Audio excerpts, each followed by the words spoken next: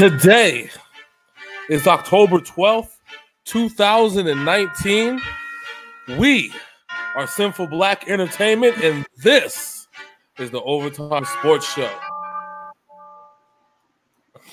What is good? What is good? What is really, really good, ladies and gentlemen? This is your boy James, aka Hollywood J Blaq, live in the building once again.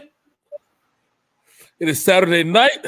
Some of y'all at the club shaking y'all asses. Some of y'all at home doing a line of the white stuff. Somebody's probably out there shooting a needle, filling himself with the good old bad old uh, methamphetamines. But for those of you that are not partaking in the illegal illicit drugs that are illegal in 50 states as opposed why are, why are you saying our fan base is at home shooting up methamphetamines? No, I was saying the ones that are actually paying attention to us. Welcome to the Overtime Sports Show. This is Hollywood J Blaq. That's my man Big Syn over there. You know, we have some of the we have the strangest fan base in the history of fan base them, sir. Between the podcasts and the YouTube and the Facebook Live where everybody randomly just pops on our shit. I love it though. How's your week been, sir? I heard uh, you've been you've been uh, training Homeland Security or lear- learning about Homeland Security. Oh, oh, you're not supposed. We're not supposed to say that you've been learning about Homeland Security. My bad. It is top secret, top flight security of the world, Craig. Not just I, Vegas, I, the world. Okay, so I've been busy, and I've been sick because here because here in Las Vegas, Nevada, the temperature likes to go from 90 degrees to 67 in a day. just my, just like my life in the bedroom. Oh, oh, oh, oh! I can't say that, can I? I can't say that. Your, your um, yeah, things aside, um, I just want to come out and say this right now. People, even people who don't like the New England Patriots, and people who are fans of the Patriots have really unrealistic expectations for this team. Would you like me to oh. tell you why? Well, before I want you to go down that path, but before we do, I have some breaking news, sort of, kind of. Um, so since we're on the Patriot path, uh, Tom Brady was caught liking a Instagram post from the infamous Antonio Brown with a picture of Wolverine holding a picture of Antonio Brown, uh, uh, focusing on Coach Josh McDaniels, smiling, you know, saying, wishing that he was back on the Patriots. Uh, Tom Brady was caught liking that Instagram post. Uh, um, again, Tom Brady has no shame. He is going to like what he wants to like. It doesn't really matter. All I know this, that. All this is is internet fodder. You, you know what I'm I saying? Just I just thought it was hilarious. But go yeah. ahead. I, I, uh, okay, so the reason I talk about the unrealistic expectations of Patriot fans and Patriot haters is that this point exactly. Oh, the Patriots offense struggled against the New York Giants. They had 400 yards of total offense. There was no struggle. The only thing that struggled was the offensive line a little bit. Brady threw a bad pass because Edelman went out instead of in the middle. They weren't on the same page. That's the only thing that got picked. The offensive line gave up that sack for a fumble in the fumble return for a touchdown. But let's be real here.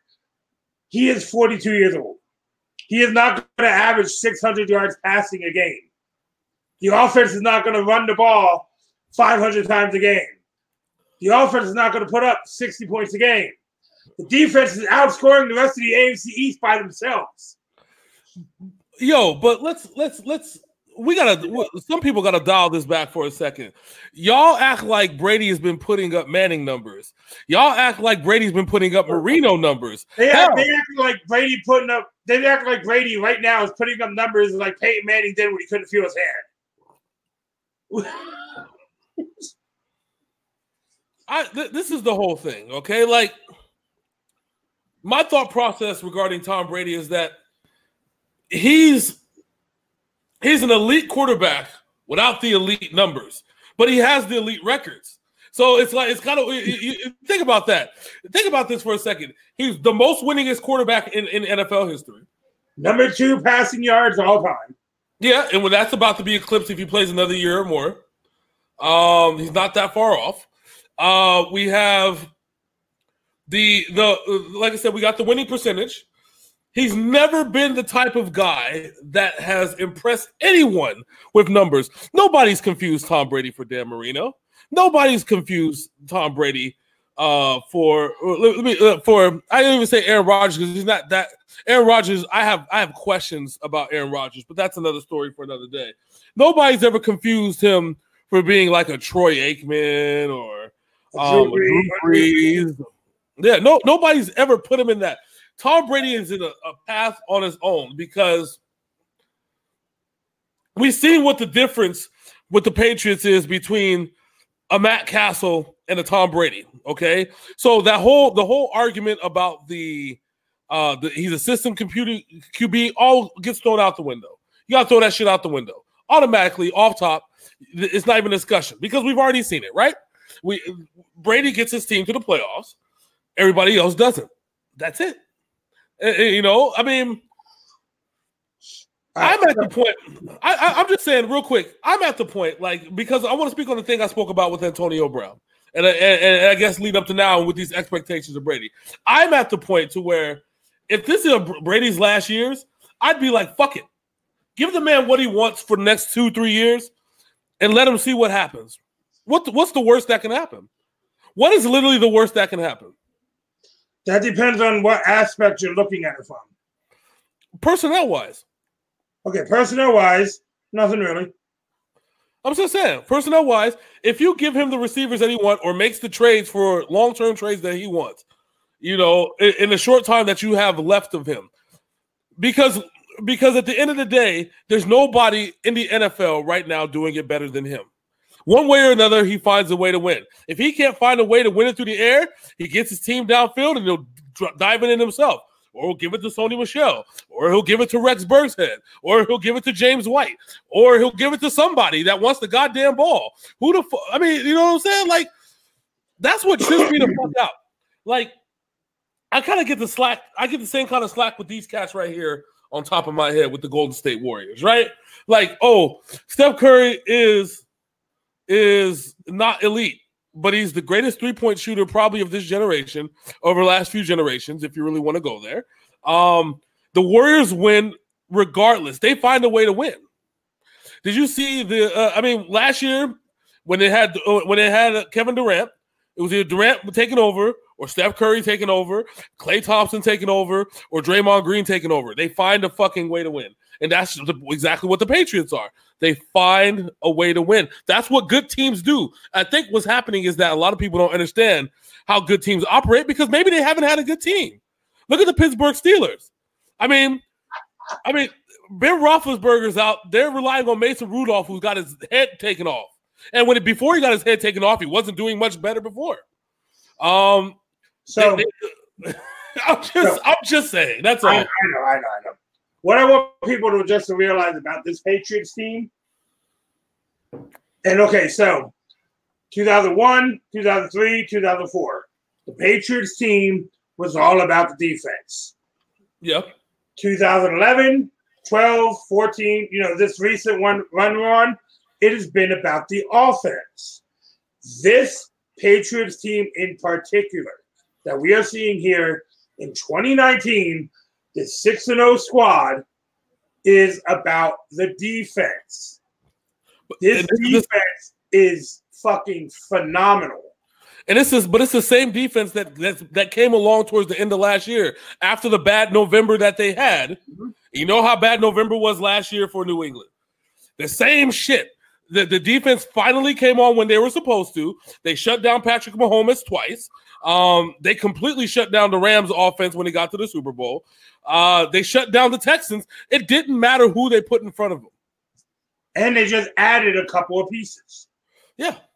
So, I mean, I, I don't know what more people want out of them. Like, I mean, everybody's a critic. That's why I say I'm a critic for goddamn sure. I know you're a critic, but everybody's a critic. But the but I'm also a realist too. sometimes you got to see the shit before it's happening. I said last year, I, I and I, I said it last year at the beginning of the season.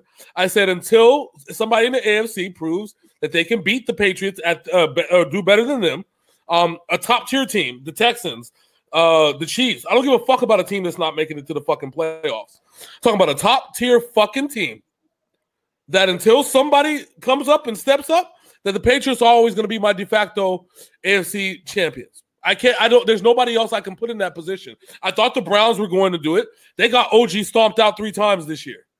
Once by my San Francisco 49ers. Shout out San Francisco. Okay. Um, what do you think is going to happen if Cleveland plays in New England? What do you think is going to happen if Baker Mayfield uh, gets schemed, out schemed by Bill Belichick? What the fuck you think is going to happen? I mean, I, I, I, kind of feel sorry for Baker at this point because he that game is coming up in about two or three weeks here. Um, that's not going to be good.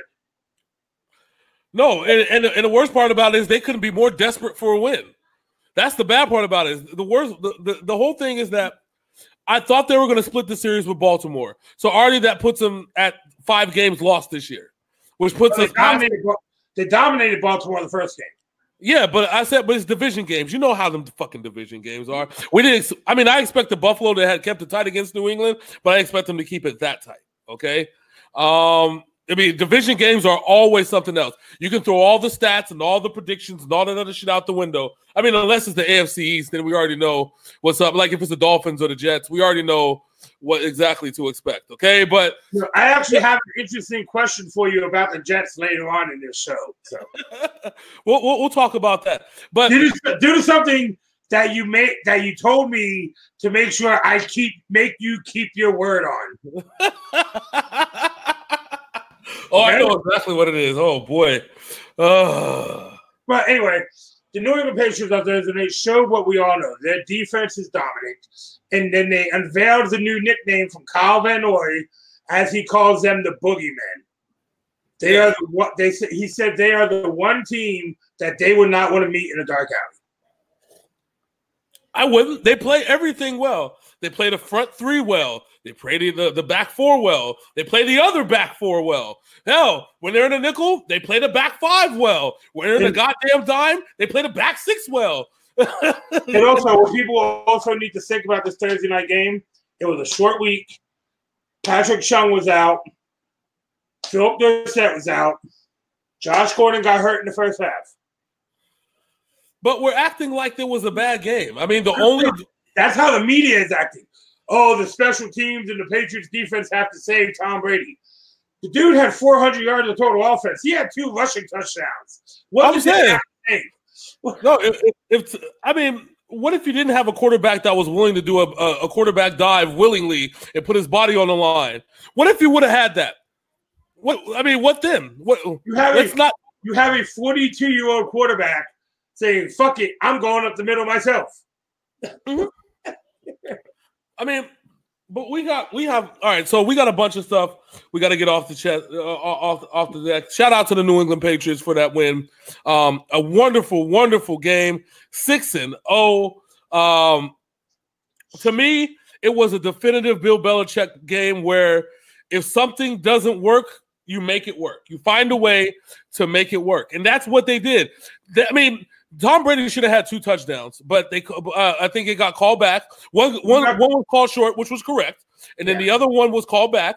He would have had two touch. Uh, and the other one, like I said, he missed Edelman going the wrong way.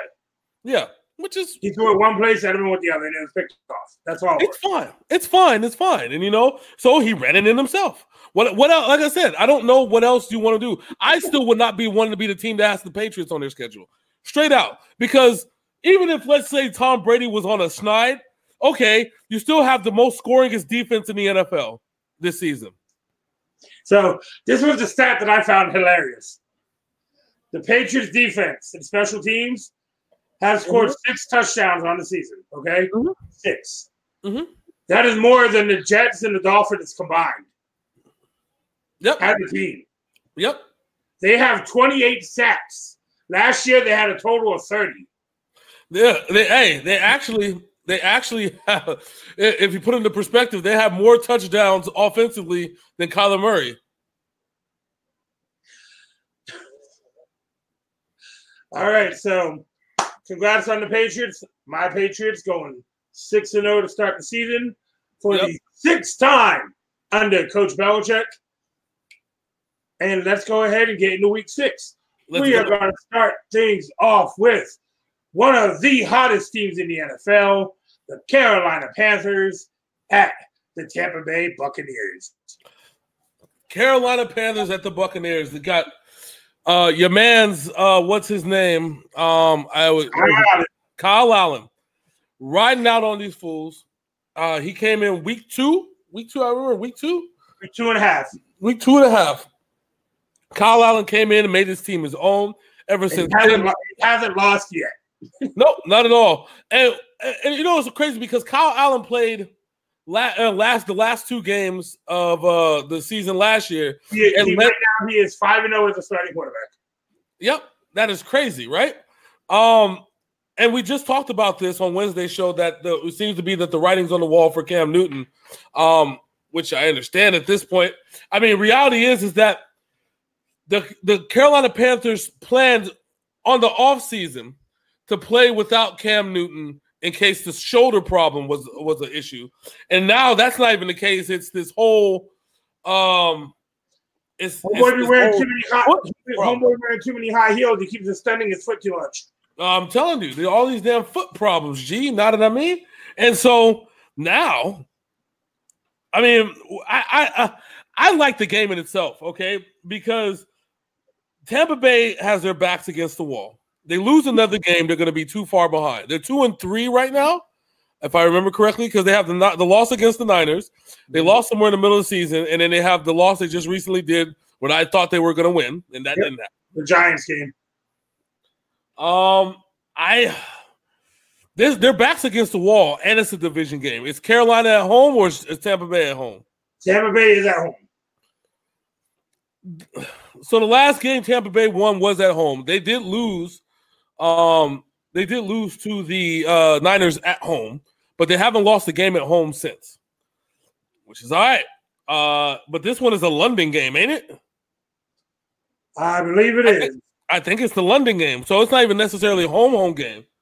But Tampa Bay has played in the London game before. They played in the London game last year if I remember correctly. And that was the game that Jameis Winston, that was like the first win of Jameis Winston after uh um coming back from that that suspension and he lost like a couple and then they, he finally came back. So I'm gonna attribute to the inexperience of Kyle Allen in playing in London because it takes a little bit of getting used to playing in London. Um, and I don't want to bet against Carolina in this one. Something tells me because this is a game Tampa Bay is should lose. And I have that feeling that Tampa Bay is just like Tennessee, which is just like Buffalo. I, am gonna get I'm a bet on Tampa Bay on this one. I'm a am a daring man. And that's and, and, those, and that's Christian McCaffrey aside, the best pound for pound running back in the NFL today. Point blank, period. I still have to go with Tampa Bay because if I don't, if they don't, then it's the end of their season. Uh, the, the backs against the wall because there's no way they're going to get out of the hole. They got some tough teams. They still got a Seattle. They still got a, a Rams game this, this year. Um, and who knows? Kyler Murray just might do a pop up on them or some shit. Who fucking knows? Just saying. So as my boy over there said, Tampa Bay has played London before. Carolina played in London two years ago, but that was a Cam Newton team. Um, I think Christian McCaffrey right now is one of the best players in the NFL, and Kyle Allen is not Cam Newton because, and one, and that's a good thing because he's actually letting Christian McCaffrey do what Christian McCaffrey does. So I have a question for you, real quick. And I've been stewing on this for a while, right? Ever since we last talked. Do you think that Cam Newton's inability to get the ball to Christian McCaffrey the, the right way is less game plan and more Cam Newton's ego? because Cam I, Newton. You, you just said a very interesting word there. You said inability. I don't think it's inability. I think it's unwillingness. And that's what I'm saying. I think that his ego, because Cam Newton is the up until they drafted Christian McCaffrey, and up even up until last year was the unabashed, undisputed face of the Carolina Panthers. Right? He was a league MVP. There's a reason. So they asked Cam Newton asked for help. Well, you know, at this point with the running back, because no DeAngelo Williams, no Jonathan Stewart. Uh, Mike Tolbert didn't work out. Whatever running backs they tried to throw at him didn't work out. We get a running back that is the Swiss Army knife. I'm telling you, it's Bill Belichick's wet dream of a running back. Um, and they get this guy and they draft him. But he's become more of a folk hero in Carolina just because of the myth and the mystique of, of Christian McCaffrey, even more so than Cam Newton, because Christian McCaffrey is just a goddamn great football player hands down. Um, and Cam Newton is is he's. I think he's still a great quarterback, but I think the lack of getting it to Christian McCaffrey because he doesn't want to has what really has been set this franchise back the last two years. No, and that's what it is. Like I said, it's not inability, it's unwillingness. He was unwilling to pass the torch to the man that is going to be the future of the Carolina Panthers because Cam Newton does not want to step aside. No, and he doesn't, which is going to be a shame. Because I mean, you think they'll give the you, you, think they'll give the starting back to Cam Newton after all the, the way that they're going? Hell no. No, if, especially if Carolina beats Tampa Bay this week, that yeah. makes Carolina two and one in the division. Yep. I don't think Cam Newton sees the field again this year. The Carolina Panthers. Which then becomes interesting because we're in week six we got three weeks, three and a half weeks to the to the trade deadline. I mean, I don't think they'll do a trade per se, not yet, but it is intriguing because maybe Carolina makes a playoff push and they traded Cam Newton for somebody to a team. You know what I'm saying? A team that maybe needs a number one that'll invest in a veteran. Um, I don't know what team that would be, uh, but that, that I mean, Cam but, Newton and Le'Veon Bell are going to be, Cam Newton and Le'Veon Bell are going to unite in New York. That would be interesting, especially if they don't think that your boy is the future. Um, what a, I have an interest. Somebody told me a little interesting little tidbit, especially with what happened with Mason Rudolph uh, with the Steelers. What if a little a little Pittsburgh home cooking a trade to Pittsburgh because Ben Roethlisberger is towards the end of his career. He's he's been one to say that um that that he's gonna retire that he's gonna he was supposed to retire two years ago, right? And he just all of a sudden came back because Tom Brady came back. Okay. Um, and then Tom Brady said, I'm playing for four more years, and Ben Roethlisberger said, I'm playing for four more years too. But everybody forgets that um that that uh Ben Roethlisberger had Tommy John surgery.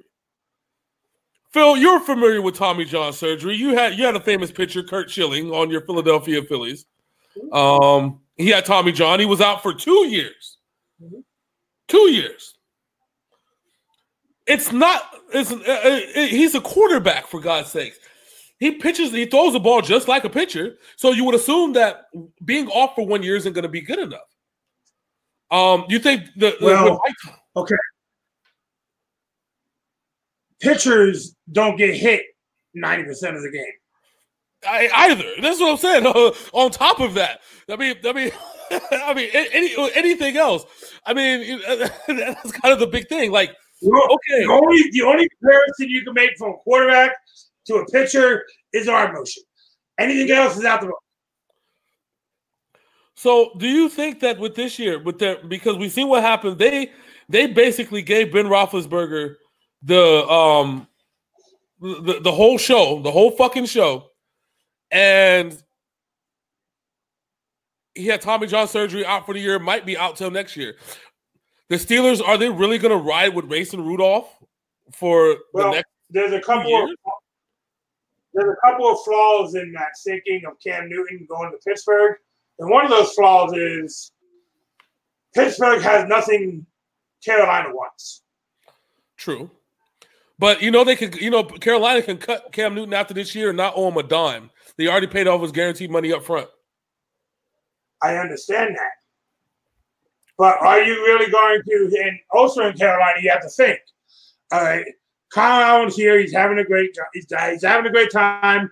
The offense is fluid, the team is winning, this, that, and the other. But what happens when the inexperience eventually and realistically kicks in because you know it will? But at one point, does it kick in? We're talking about a Norv Turner offense, the same offense Philip Rivers thrived in for so many fucking years. Um, well, I don't think it kicks in this week.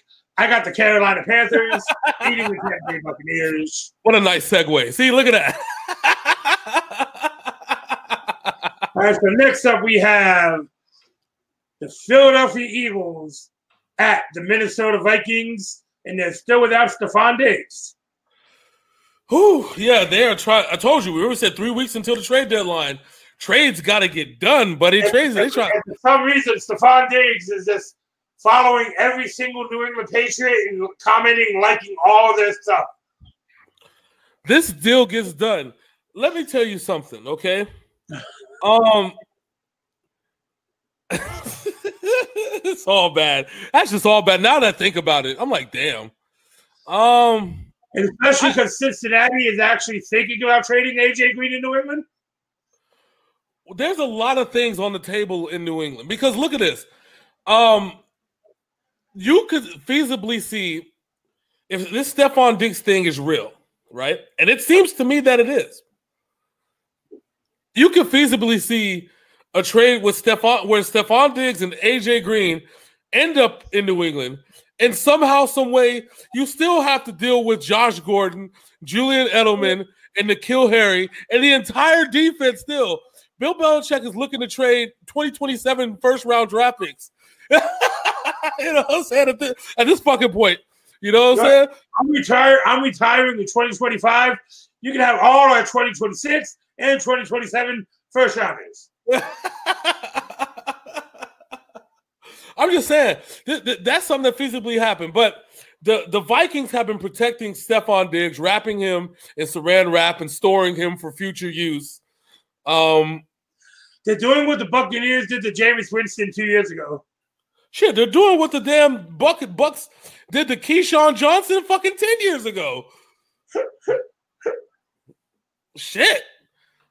I mean, the last thing, the last thing the NFL and any other team in the NFL want to see is a Tyler Eifert, and AJ Green, and a Stefon Diggs in New England uniforms. Well, then I hope that Minnesota, that Kirk Cousins go to Stefon Diggs' house and gives him a hug and says, "I'm sorry." Okay, so because that's what it's going to take to get Stefon Diggs back in the fold in Minnesota. Until then, um, they have to play the Eagles, and yes, your boy Thielen is happy. Uh, he's probably going to be happy for the next couple weeks because it's not like Philadelphia has the best pass defense in the NFL. Uh, far from it. However, this defense coordinator is highly familiar with the with the ability or lack thereof of Phil of uh of uh Kirk Cousins as as having to play you know play against him two times a year in uh in, in when he was in Washington. So um I hate to be the bearer of bad news, Minnesota. This just isn't your week. Um, this is the lack of Stefon Diggs is going to catch up to them this week. To me, uh, Dalvin Cook is still going to probably go for 150, 160 because Philadelphia still can't stop the run. But uh, everybody forgets that Carson Wentz, up until this point, is a top five quarterback this season. I don't know how the fuck that happened, but it happened. Carson Wentz isn't there. I, and, I don't. I, I've seen Philadelphia Eagles games. I don't know how that even is physically possible, but somebody told me that that's the truth. I looked up the stats. It is true. Um, I mean, I, I, I don't have any good things to say about the Philadelphia Eagles outside of Carson Wentz and their middling pass defense. But again, it's Kirk Cousins. He can make a middling pass defense look like the New England Patriots. So I have the Eagles in this game. Um, I am, going, I am going with the home cooking in this game. oh Lord. I am going to go with the Minnesota Vikings. I think Dalvin Cook and Adam Thielen are going to be a little bit too much for that not so vaunted Eagles defense to handle. And but, has nobody and has nobody realized that JJ Ajayi still has no job? Yes. You know who else realized that JJ Ajayi doesn't have a job? JJ Ajayi. That's who. That's it's like Philadelphia blamed him for not for them not making the playoffs last year. No, no, it wasn't his fault. It was the fact. I mean, Philadelphia did make the playoffs, but the fact of the matter is, is that they really needed a running back to continue in the playoffs under the Nick Foles era, and it didn't happen. All right, so next up we have Tank Bowl Game Two. Tank Bowl game. Last week we had the Bengals and the Cardinals. This week we have the Washington Redskins at the Miami Dolphins. Woo! If this isn't the perfect game to start Dwayne Haskins in to figure out what the fuck you got in your quarterback, this is it. Um, I'm not sure if they are. I, let me look at the recent news. I'm hoping and I'm praying that they've really decided to start Dwayne Haskins. Let me see if there's any recent uh, news on that front. Um, I I still don't see nothing regarding that. Uh, I don't. Sadly, I don't. Let me see. Nothing. Nothing. I, I clicked on the game. They're just like, yeah, it's gonna be horrible for us. Um Colt McCoy is starting a quarterback for the Washington Redskins.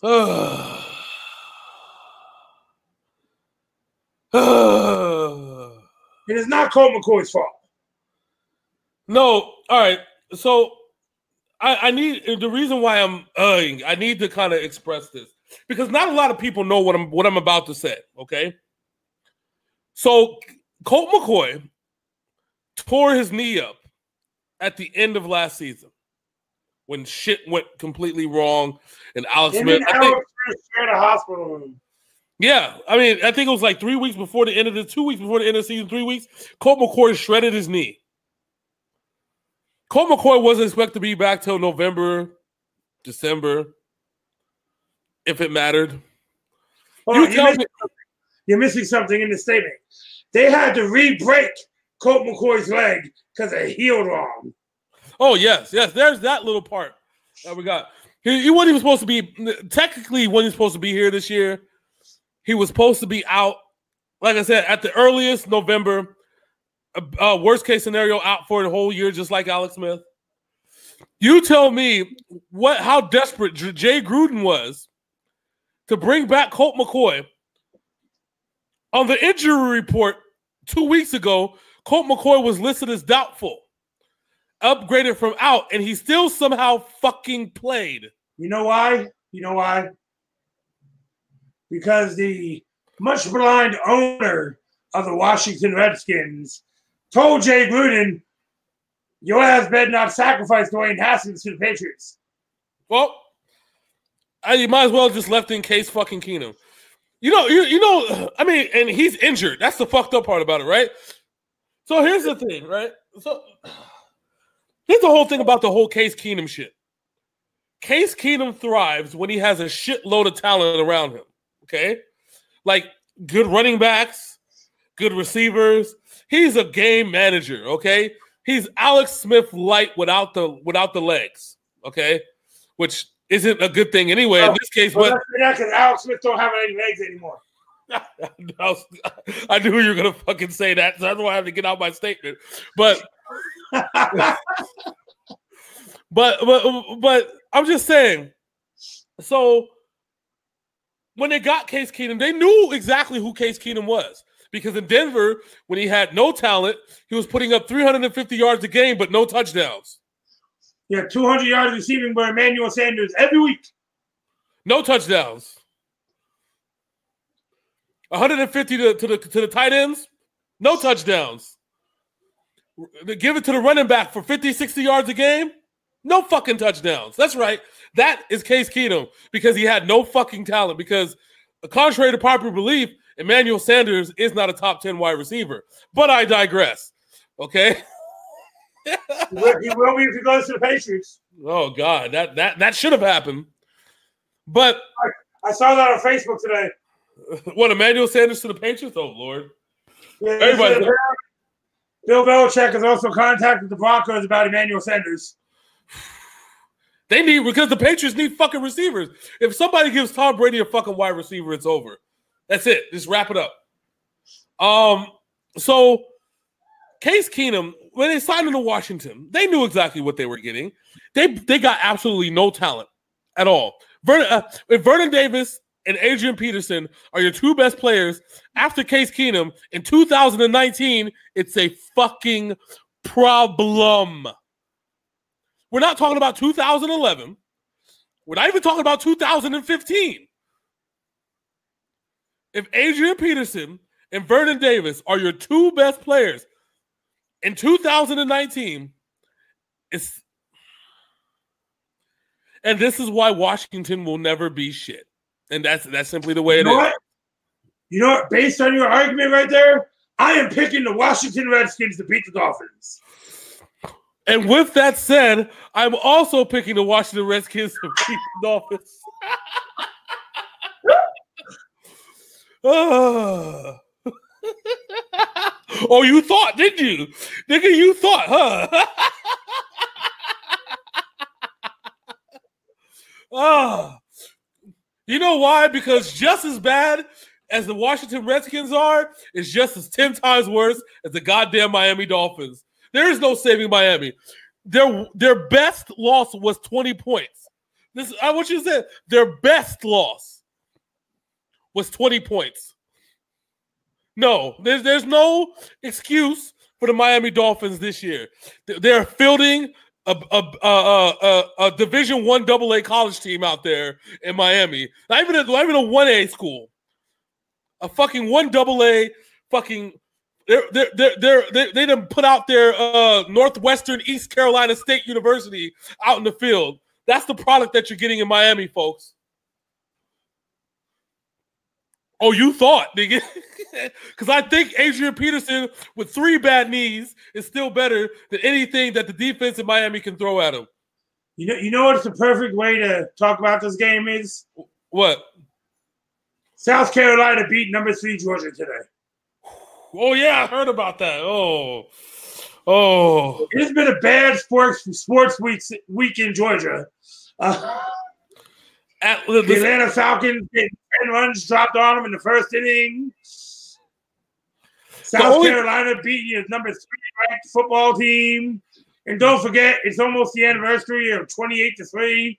Uh, the only the only uh the only good thing that has happened in uh in uh, in Georgia this year is Major League Soccer, and nobody in Georgia gives a fuck about soccer. So there's that, ladies and why, gentlemen. they, why the fuck are they kicking the ball? We're not throwing it. Shout out to the Thrashers, by the way. M- uh, MLS champs. Um, y'all need y'all need a hockey team. Anyway. Anyway, moving on. We have a team coming off of a career performance by their quarterback against a team whose defense is trash and lost to a subpar team last week. We have the Houston Texans at the Kansas City Chiefs. Whew. The worst part about this whole this whole game right here is that Indianapolis's defense wasn't even really that good. They just schemed uh, the Chiefs very fucking well. And Patrick Mahomes is playing hurt. Yes. So now they're going against a team that actually has a good defense and is going to scheme them well. And they have Oh. one man back there who's going to cause a ruckus. And that man goes by the name of J.J. Watt. Yes, James Jehoshaphat Watt. It's not even his real name. I'll just just just making up a name at this point. Uh, James Jehoshaphat. What the fuck? Jehos- yes, James Jehoshaphat Watt, the third. All right, it works. so, Does that mean his brother TJ is named Tyrone Jehoshaphat Watt? yeah, Tyrone Jehoshaphat Watt. Ty, no, Tiberius Jehoshaphat what?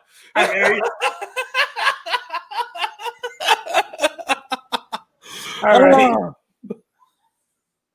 So, so last week, Deshaun Watson played like a man on fire, literally last week. yeah, literally and figuratively. Uh, and his best career game as a pro.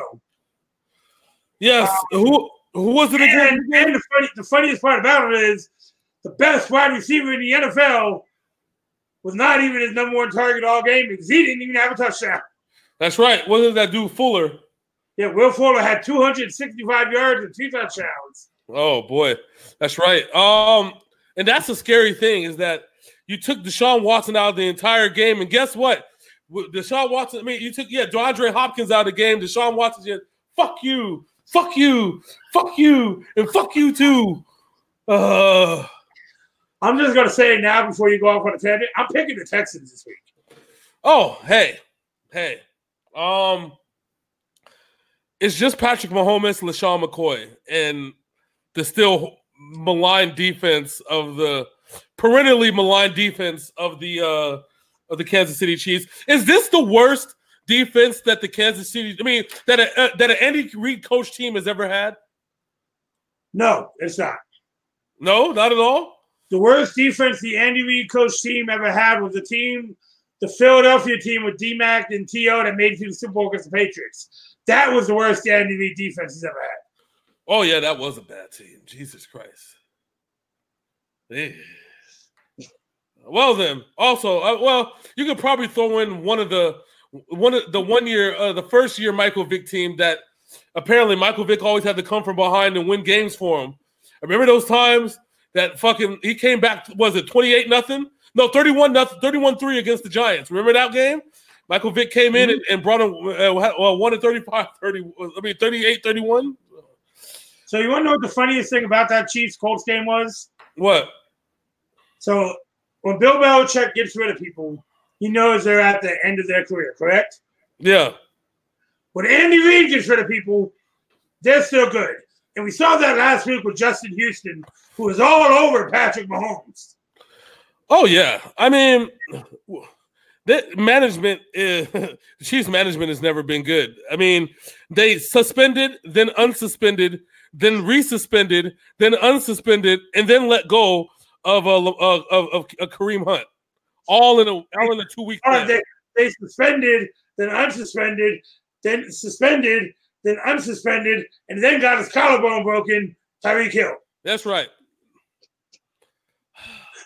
We've never accused we never accused the Chiefs of being good managers. Okay, we never you never choose the chief. Yeah, you never choose the chief. Uh, accuse the Chiefs of not giving second chances unless you had cancer. Uh, ooh.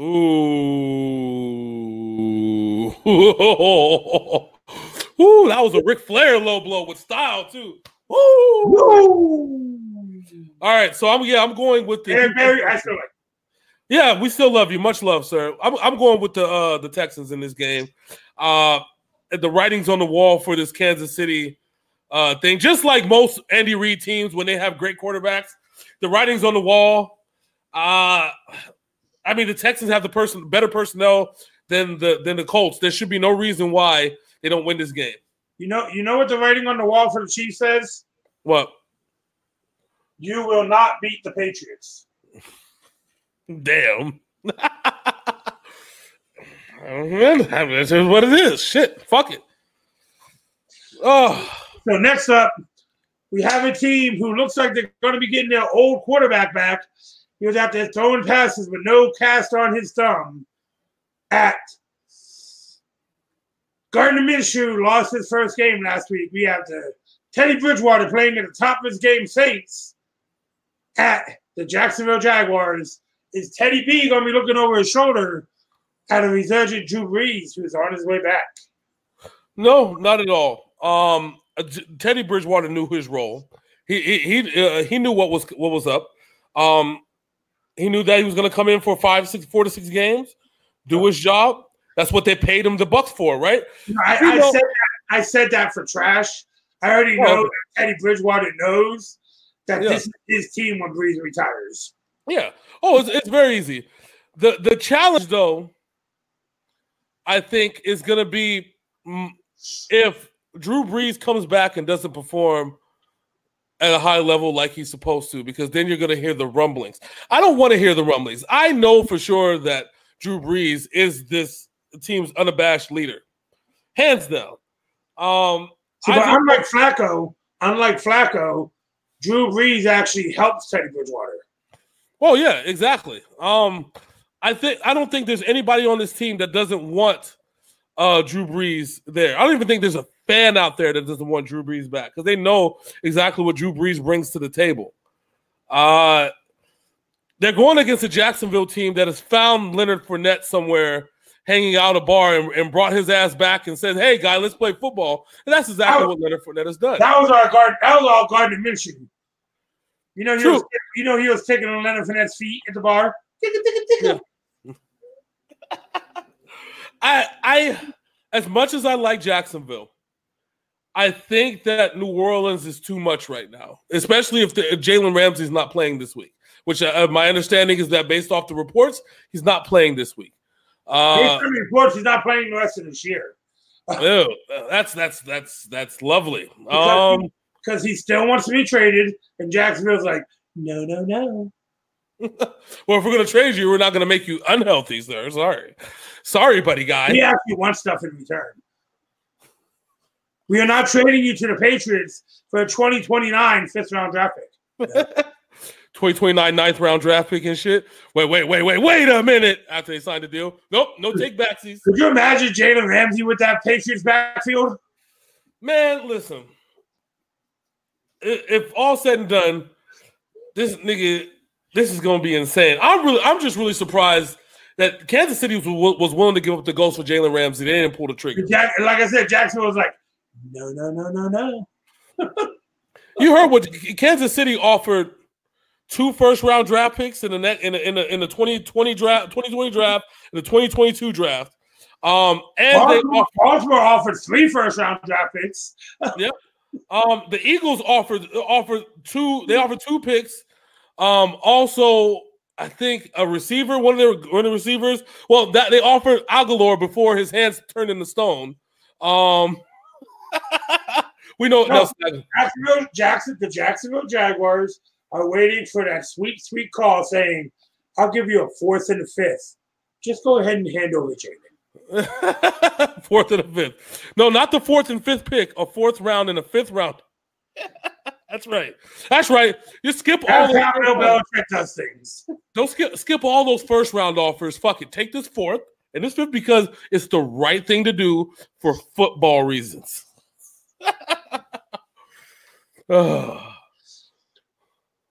down the line, down the line, Jackson was like.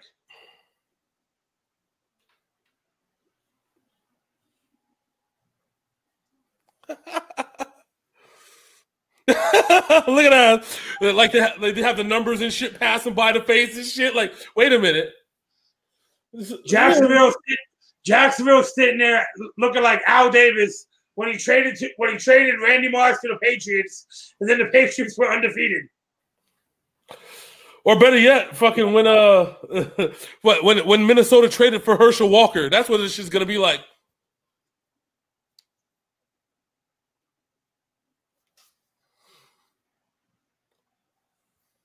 Or, or when the San Diego Chargers said Junior Seau and Rodney Harrison were at the end of their careers before they went to New England. Yes, they were at the, the tail end of their careers. The tail end of their careers.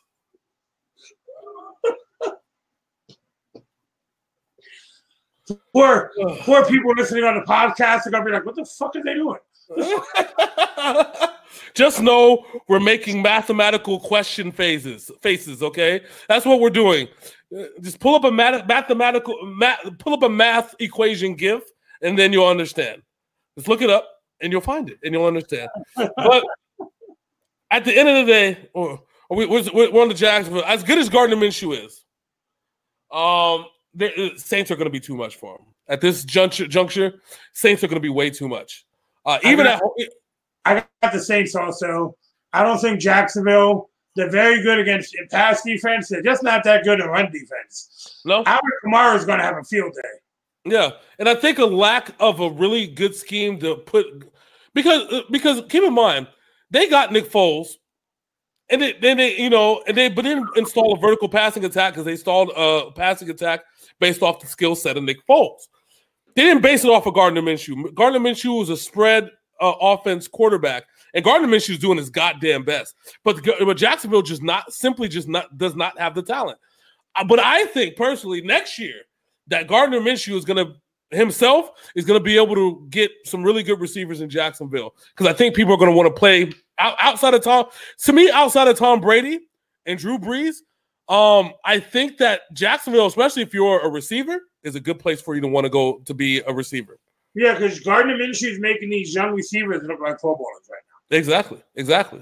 I mean, imagine you're a receiver. Imagine a guy like uh, Tyreek Hill. Um, I'm like, yeah, you got Patrick Mahomes, but shit, man, imagine having to play in Florida eight eight times a year. Just saying. So we both got the Saints in this game. Next up, we have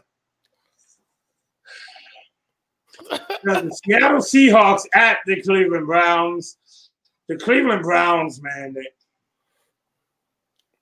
Did you hear about the bold prediction this week? Before we go into the thing, I want to I want to give you er, not my bold prediction, but um, apparently across the board in ESPN and on Fox. Their bold prediction is that Cleveland gets back on track and beats the Seattle Seahawks this week. My biggest concern with the Browns right now is the fact that the Tuesday following Monday, when the Browns got obliterated by the San Francisco 49ers, they started fielding trade offers for Odell Beckham. This is true. Um, we all know that Odell Beckham does not do well with negativity. I know. I just th- I think that the this is the problem. Okay, so we talked we talked about this earlier in the season, and we even talked about this when we were doing our preview. The only concern that I had was Odell Beckham and uh, Baker Mayfield not getting the time around the preseason in order for themselves to gel. And Odell Beckham was hurt during the whole preseason. Yeah, but they didn't do it. They, it's not like they went to the offseason. Matter of fact, oh, there's Odell Beckham went catching passes with Colin Kaepernick in the offseason. You didn't go catching passes with Baker Mayfield, you know, the actual quarterback that you play for or play with. No, not at all. That's not important. Me, me and my kicking net wife are gonna go hang out with Colin. And there's your one per video, goddammit. I mean, it's it's time to build chemistry, especially when you're new. When uh when T when T.O. got to Dallas and Drew Bledsoe got hurt, uh T.O. spent week after week working out with Tony Romo, which is why he had the emotional outbursts. My quarterback, man, and my quarterback, and my quarterback, man. Nah, but you know what I mean. Um, it's just saying, like you got this is shit that you got to do. If you're trying to get build, a, if you're trying to win, and you're trying to win with a quarterback as a receiver, you have to build a rapport with this dude. The fact that um the, your boy Humphrey from uh from the Ravens, who's like not like the best quarterback corner in the NFL, not even like a top 30 corner in the NFL, completely shut Odell Beckham out of a game is laughable at best. I mean, you're supposed to be elite number one wide receiver. What offensive scheme one has you being completely taken out of a game by a quarter corner, and two, you get so angry that you're not talking to your quarterback to try and figure out how to get this shit resolved. Um, and if but the but somebody knows something that I don't know apparently, or something that we don't know, and they're picking Cleveland to beat Seattle this week. I'm not. I'm picking the Seahawks.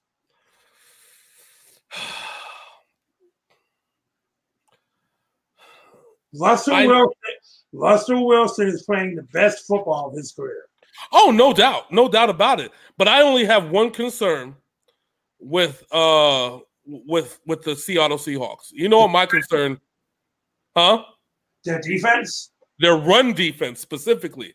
Forget the forget the passing defense. I think their passing defense is middle of the road. Yes, I know, about- Nick, I know Nick Chubb is going to go for a buck fifty in this game. I know that. But are they going to be? I think they're going to have to run the offense through Nick Chubb Forget running the offense through Baker Mayfield. Forget running the offense through Nick Chubb. I mean, I mean not Nick Chubb. But forget running through, through Odell Beckham. Forget even running it through Jarvis Landry.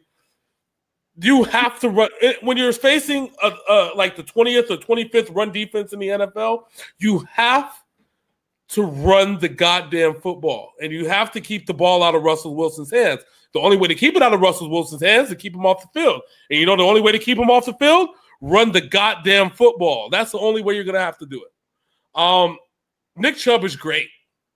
It's phenomenal. He's not getting a lot of the credit that he deserves, actually, because of the whole Baker Mayfield drama um, and the Odell Beckham drama. I, I'm not one. I, will tell you what. I'm gonna go with Seattle. I don't like it, but I'm gonna go with Seattle. Now, apparently, I want to beat these ESPN fuckers that think they know more than anybody else. So I'm gonna go with Seattle at this point. All right. Next up, we have a game that's taking place in the AFC North. We have the 0 5 Cincinnati Bengals at the Baltimore Ravens. Oh, this this game has a predetermined outcome. Uh, if there is a script for a game. This is it's it. I think Lamar Jackson finally gets back on track. Uh, the Bengals can't stop anything, anybody, or anyone. You got they lost to the Cardinals, and the and the Cardinals didn't even score. I don't even think they scored a patching touchdown last nope. week. Kyler Murray had two rushing touchdowns. And they got blown out. They got blown the fuck out. No, you. This, this is gonna look just as bad as that Miami game, like fifty-five to something. So, um, so I'm just gonna say this. Hello, '90s. The Bengals are back. God damn! Are you saying that Andy Dalton's Boomer Esiason and trade his ass to the Jets too? Because they need a fucking quarterback anyway. This is the Ickey Woods Cincinnati Bengals. Oh God! What, Bengals what, what, one in 15, three years in a row. with the best running back in the NFL. That's oh, so so we're agreeing that the, the Ravens, right? I mean, that's uh, oh okay. Just making sure. Oh, okay. All right. Good. Good. All right. So next up, I'm actually in the middle on this game right now due to an injury to a certain player on a certain team. But also, Todd Gurley has been listed as being out in this game. We got the 49ers at the Rams. The juice in 49ers in San Francisco is hurt. And we've seen in that Cleveland game that affects their rushing attack very badly. It does. And I'm not, and I, I'll be the first one to tell you that I'm a little bit worried about this game. However, the fact that uh, the Rams have seemingly their defense is not what it used to be. Um, I mean, yes, there's Aaron Donald, uh, but only our right side is affected, not the left side. Um, and Aaron Donald plays that left side. Uh, Staley is going to be Staley versus Donald all game. That one's going to be a battle from hell. Is Staley back? Yeah, Staley's back. Um, Staley, he came back last week, I believe. The best player on the field is George Kittle. Yeah. Now, the, uh, if anybody knows anything about a Mike Shanahan offense, I mean, not Shanahan, uh, Kyle Shanahan offense, it's when you take away what he does best. So when a player gets injured, that's a vital player. Uh, he's the reason why he has Bill Belichick's respect is that he can change things on the fly and make it seem like nothing ever happened. He'll throw a whole new offense on the field and and you won't even know what the fuck happened. Yeah, unlike that Cleveland game, he actually has time to prepare without Juice. That yeah. whole Cleveland game, that whole game was getting the running game going against Cleveland's bad run defense. Mm-hmm. And Juice making those blocks. And as we've seen, the San Francisco 49ers running backs had a field day in that game until oh, yeah. Juice got hurt. Oh yeah, but we able to, we still able to control the clock. The defense made did what they were supposed to do. I think what you're gonna see is akin to the, the Super Bowl Atlanta team. And when I say the Super Bowl Atlanta team, I mean the speed, right? You're going to get up 28 to 3 and lose? Okay. No, no, no, no. Our defense isn't isn't horrible like Atlanta's was. Um, we actually, oddly enough, here's the funniest part about since we're since we're on the uh, defense, the Patriots and the 49ers have the two best defenses in the NFL. Um, they're both quarterbacked by New England prodigies. Uh, Josh that, that that had their best years under Josh McDaniels. Um, and they're both coached by legendary coaches.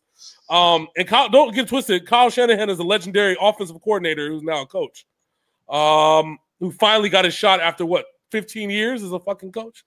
Uh, I think in my heart of hearts, I think that the 49ers got this one. And normally, I, I and, and if it was any, I think if the Rams were at full strength, I might be inclined to take the Rams in LA. However, we gotta we're gonna see a completely different style of offense hit the field at least for the next few weeks while uh, Juice gets hurt. It's gonna be a lot of speed. It's, we're gonna be playing a lot faster, a lot stronger. I believe the game plan is gonna negate any kind of good things that the defense has, and I think our defense is good enough to shut down uh, Jared Goff as we've shut down other quarterbacks previously. If Todd Gurley played, I would have picked the Rams. Yeah, if, if this was Todd Gurley before the injury last year. No, even Todd Gurley this year, I would pick the Rams. Yeah. The reason I say that is Cooper Kupp is enough of a threat for Gurley to have a good game. Because no matter where you line Cooper Kupp up on the field, he's going to get you 20, 30 yards. True. But I'm going to go with San Francisco due to the Gurley injury. I think it's going to be a low scoring defensive game. And as long as Jimmy G doesn't make the mistakes he was making early this season, the 49ers will win this game. No doubt. There you go. All right, next up we have a game between two birds and two one and five teams. The Atlanta Falcons at the Arizona Cardinals.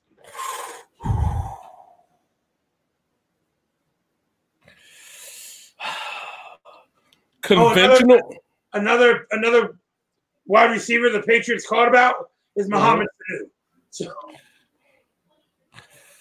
conventional wisdom would tell you that you should bet on the Arizona, not, not Arizona Cardinals, the, the Atlanta Falcons. Conventional wisdom, you know, the regular type of wisdom. You know, the wisdom that says that Matt Ryan is an elite quarterback, Julio Jones is the best wide receiver in the NFL, and Devonta Freeman is still playing like it's four years ago.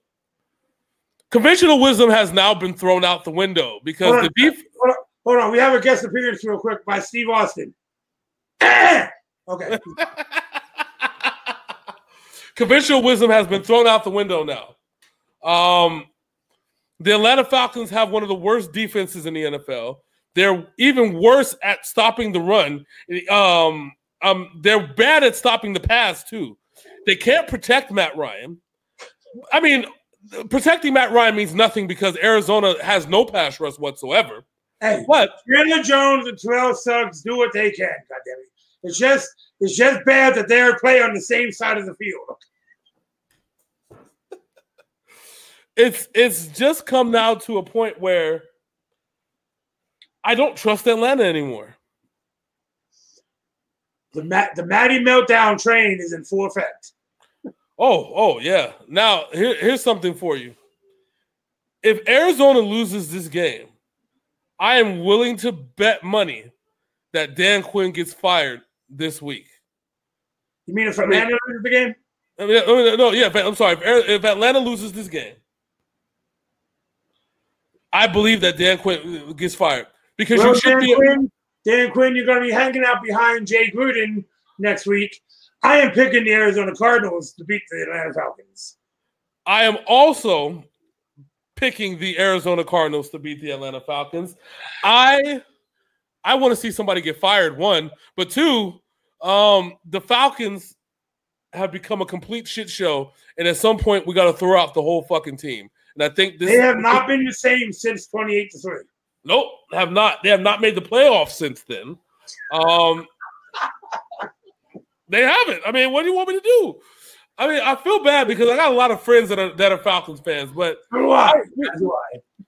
But we got to be real. This this is the this is it. You, how do you have the best receiver in the NFL? You have a quarterback that's actually performing well, but sucking uh, at the same time. How, how does that happen? How do you suck and blow at the same time, Phil? Huh? it's physically impossible. Very easily, and I'm going to tell you how. You want to know how? How? By you opening your mouth last week and saying, no matter what I say, I am not picking the Dallas Cowboys again this season. And I want you, Phil, Phil, I want you to hold that, hold me to that. So guess what, Mr. Granger? What? Roosters have come home to roost. It's time for you to own that as you are locked in as picking the New York Jets against the Dallas Cowboys this week. And you know what? Your boy is coming back this week, so I'm happy about that. Um, what's his name? Um, God damn it, their starting quarterback to begin with. Sam Darnold? That's right. He said he was coming back this week. He has no more mono kissing disease. He said he's ready to play some football. Okay. The Dallas Cowboys, I don't care who they are. Oh, you gotta excuse me. You gotta excuse me, ladies and gentlemen, while I'm selling myself. I'm telling oh. myself on this victory. Okay. Okay. Go ahead, buddy. Have at it. this is probably going to be the greatest win in Jets history if they can pull this off. Okay, the Jets need this. Sam Darnold's going to come back and go into a house fire. He's going to be putting up 07 Tom Brady against the Tennessee Titan numbers.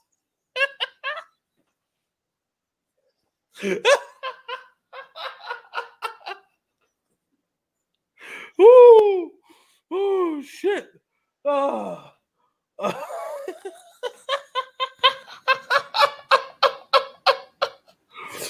Oh my god! I gotta cover my nose because all that shit coming out of your mouth is bullshit. Oh, woo! It's, it's uh, Le'Veon Bell is gonna go for 200 plus yards from scrimmage. Okay, this is the definitive Jets game. And they're still going to lose, but I'm still picking the Jets anyway because I am morally obligated to do so Fuck the Cowboys. oh fuck. so I'm just gonna say it now. Mr. Blaq over here didn't look at the upcoming schedule before he made that prediction last week. No, no. Fuck the Cowboys. Oh. I, on the other hand, am picking the Cowboys in this game. then hold this L, sir. The Jets are going to win or something. You know what I'm going to do, right? What? Come Monday, I'm going to video clip this whole thing. Hold that L, sir. The Jets are going to win. And I'm going to play it on loop on Facebook for 24 hours. Just for you, my friend. Just for you. What happens if they do win, though? Then I retire from doing the show. I will not hold you to that because I can't hold do the show without you. I will drag your ass out of bed. Ugh. I'll drag you out of a fucking grave to do this damn show. So I'm not holding you to that. However, okay, okay. If the Jets win this game, I will pick the Jets for the rest of the season. Oh God, no. Oh Jesus. Again, even against the Patriots? Yes. I was gonna do something as simple as you're gonna have to pick against the Cowboys for every rest of the game, like I do. No, I'm not gonna be that stupid. I will pick the Jets. He says he's not gonna do be that stupid, but he's gonna. Ooh. That is how confident I am that the Jets are not going to win this game. Now here you go. I'll even do you one better. If the Jets win, then you have to pick Atlanta for the rest of the season. Okay, okay, okay.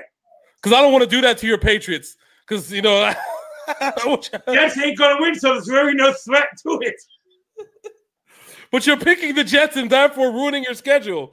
This could literally be the biggest win of the Jets of the Jets uh, year, and they can go win no more games for the rest of the year. Okay, I mean this is how serious this is.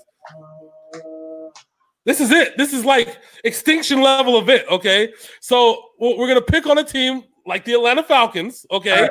if they win, if they win, then you have to pick the Falcons for the rest of the year. Okay, deal. All right, fair enough.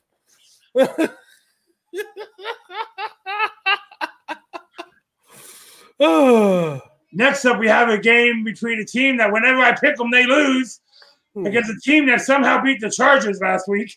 We have the Tennessee Titans at the Denver Broncos. I I looked over the stats of this game last week in Denver. I don't know what the fuck happened. There was nothing. We, we, we even talked about it last week. I even went over the stats like nine times trying to figure exactly what exactly the fuck happened in this game last week. And I don't know.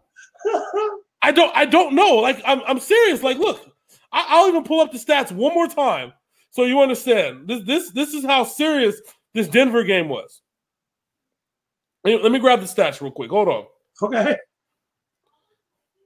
So Joe Flacco went 14 to 20 for 182 with one touchdown and one interception. Okay. One touchdown. One touchdown. Yeah, one touchdown. It wasn't even a touchdown. It was that bad. Okay. Yeah, yeah you're honing in on those Jets, ain't you? Yeah, we got ourselves a touchdown. Yeah, yeah. So no receiver named Emmanuel Sanders. Not even their running back got, got, got the touchdown. Some dude named Sutton. Who is the fuck is Sutton? I think he's a tight end. Yeah, he had four catches, and one of those catches was a touchdown. Now, Courtland Sutton, he's a wide receiver. Oh. He's he was he's from Southern Methodist University, Phil. That's right. Southern. Oh yeah, he went from one horse team to another. This this is this is a team full of nothing but uh John Elway budget picks. This is what I'm looking. This looks. I told you from a guy that runs a bunch of car dealerships. This is nothing but a bunch of budget picks. Emmanuel Sanders had one catch for nine yards. There you go. Um, Lindsay had the other touchdown in this game. Philip Rivers threw two picks. I mean, the Chargers didn't do anything, but the. I told, you, I told you in this game, John Elway purchased the Philip Lindsay Get Good DLC from EA. Apparently, I. Man, fuck this team. That's a. I don't get this shit. Like I, I don't, I don't, I don't. I'm, I'm trying. I'm really trying here to understand how the fuck Denver won this game, and I can't. So fuck this team. So now they're playing who? The Tennessee Titans. Huh? This is the now. Here's here's where the chickens come home to roost. This is the game where the Tennessee Titans not only should win, they should undoubtedly and unabashedly win by multiple touchdowns. Which means they'll probably lose. Yes, exactly. They, will probably fucking lose, and I don't. I'm not willing to take that chance. I'm taking the Titans. Yeah, I am too. I, will take the L. I'll hold the L if I have to. But man, Tennessee, you you fuck with me this week. I'm gonna kick. I'm gonna I'm gonna show up in Nashville and beat the shit out of everyone. For real smacking the shit out of motherfucking uh, Mike Vrabel. This, this, episode of NFL Talk is having a bunch of little clips that are going to be iconic and shit goes the wrong way. You know that, right? Ooh, at this point, I went six and nine last week. I can't take no chances except for the Jets. I'll take that chance. I ain't got no choice because fuck the Cowboys. Anyways. All right, so next up we have another team who me and James both say fuck you to but they're playing the team that lost to the Broncos last week. The Pittsburgh Steelers at the Los Angeles Chargers. Oh God, Jesus. Let me see. Um why? Why? Why? Devlin Hodges is making his first start for Pittsburgh. The Chargers he, are playing. He is a practice squad quarterback that almost beat the Ravens last week. So here's, I have a question. So this game, the, the Niners game, is in LA. The Chargers game is in LA. Mhm. So it's at night. So so here's the deal. The um don't they play in the same stadium still? Sometimes. Mm. So how's this gonna go? As soon as the Rams game is over, the grounds crew is going to run out there, resod the field, fill out, fill up the holes in the ground, and re- and paint the Chargers logo over the fucking. I don't fucking know. Maybe they're playing this game in San Diego and didn't tell nobody. Are, are, are, are- did they offer two for one tickets to this game? Probably knowing LA because nobody shows up to either team's game, so doesn't really matter whose logo's on the field.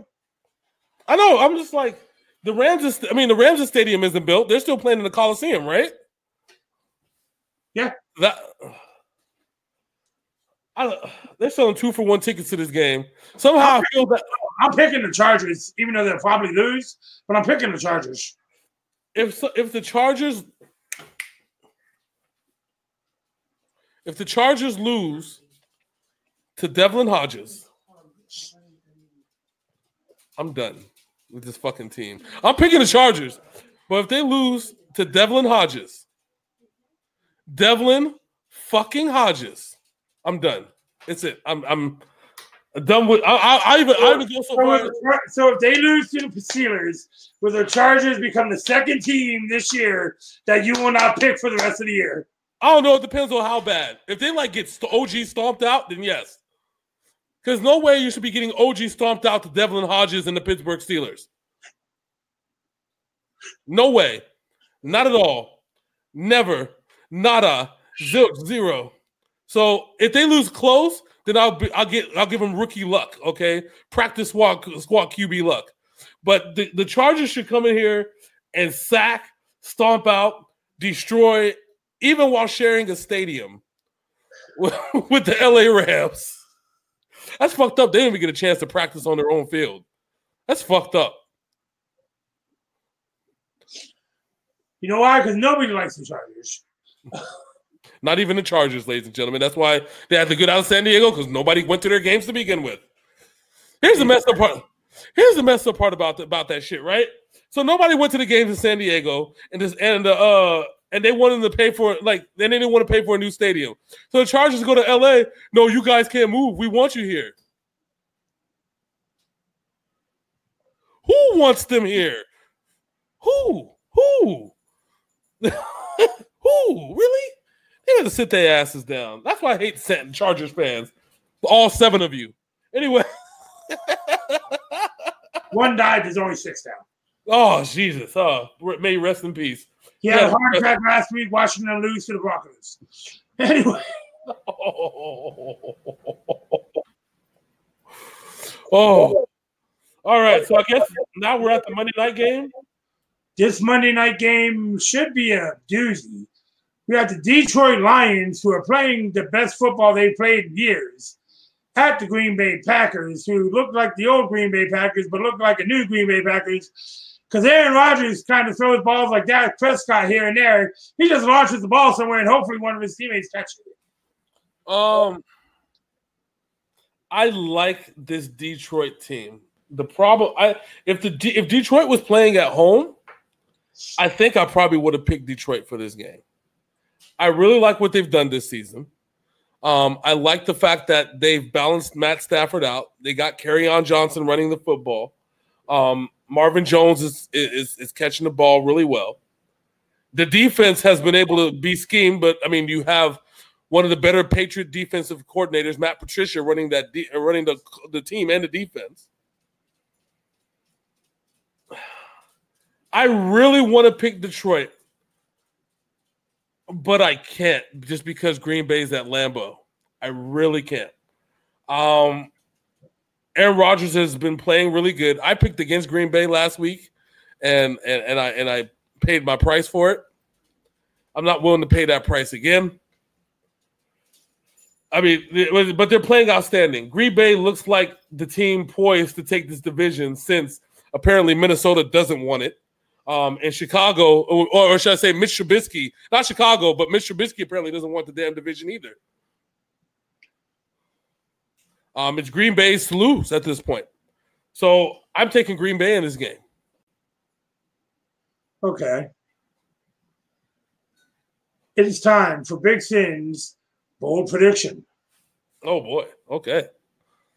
This week's bold prediction is brought to you by Matt Patricia in the Detroit Lions defense.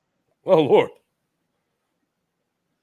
The Detroit Lions will beat the Green Bay Packers in Green Bay. Ooh. And as an annulment to our preseason picks this this year, where we both said the Chicago Bears are going to dominate this division. Six weeks into the season, I'm saying no, the Detroit Lions are going to win this division at the end. Oh, which which actually is a good segue to an idea that I had that we should do in three weeks. What's that? So you know how we made our predictions. I want us to pull us our season predictions. Um, in three weeks from now, I want to look at them and see where we're at, where we went wrong, where we fucked up. Want to have a little like uh mid mid season review uh of where of what we've done so far, and kind of critique ourselves and see if we want to amend anything um, to those predictions before the season rolls on. Are you up for the challenge, sir?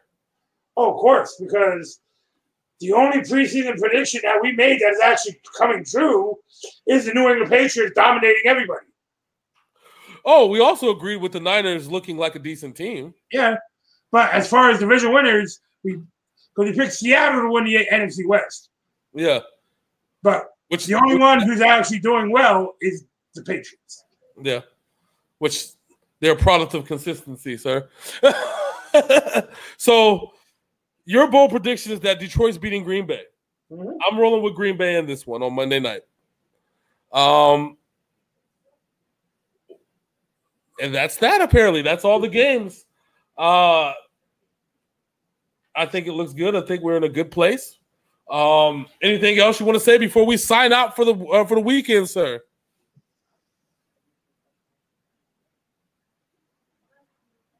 Nope.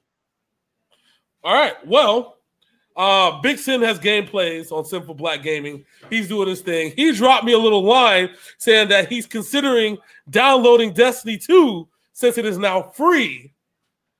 That he's considering playing a couple games with me to see where the game is at at this point in, in, in life.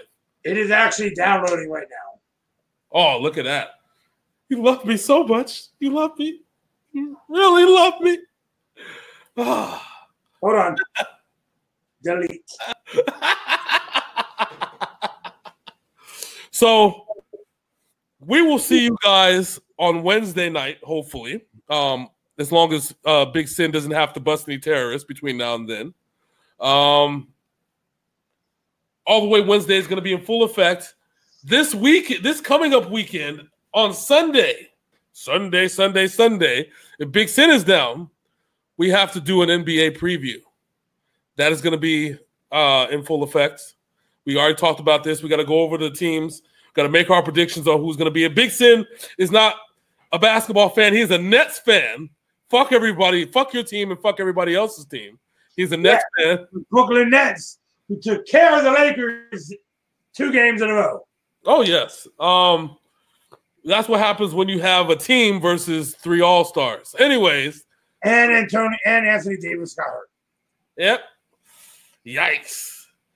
Well, on that note, catch us on Wednesday uh, to do the, to watch our NFL Fallout show or listen. And also make sure you catch us on Wednesday, where I'll be playing the GIF of James Granger saying the Jets are going to win over and over and over and over and over again.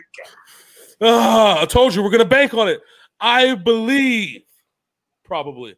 Anyways. This is your boy, Hollywood J Blaq. That's my man, Big Syn over there. This is the Overtime Sports Show. When until Wednesday, we are out this bitch. Deuces. Once I get the mouse to work, deuces. There we go.